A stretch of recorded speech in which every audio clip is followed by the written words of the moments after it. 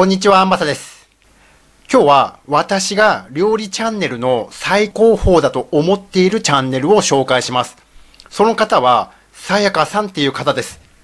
2019年の7月の2日にチャンネルを開始したんですけど、チャンネル登録者数は12.1万人、再生回数は30動画で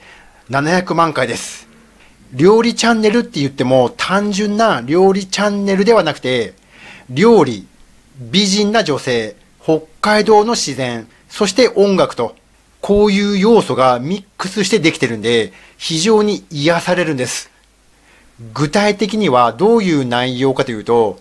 美人な女性が料理をしてそれを食べるっていうのが基本スタイルなんですけど、この女性は一切話をしません。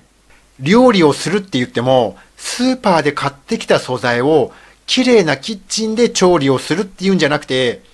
山で山菜を取ってきて、それを川の水で洗ってから料理をするとか、非常に凝ってるんです。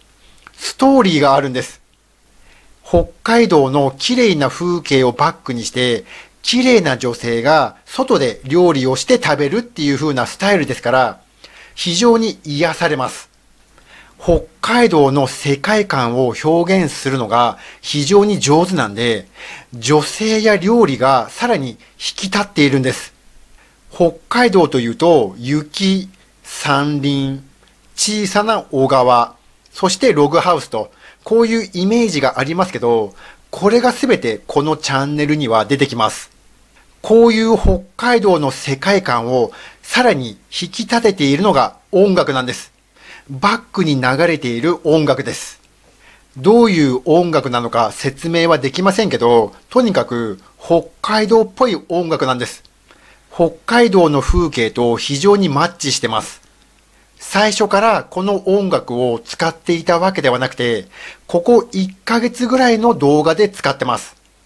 当然なんですけど、最初の頃の動画と比べて、どんどんクオリティが上がってきて、ここ最近の動画は完成度が非常に高いです。ぜひ興味があれば見てください。では今回はこれで以上になります。ご視聴ありがとうございました。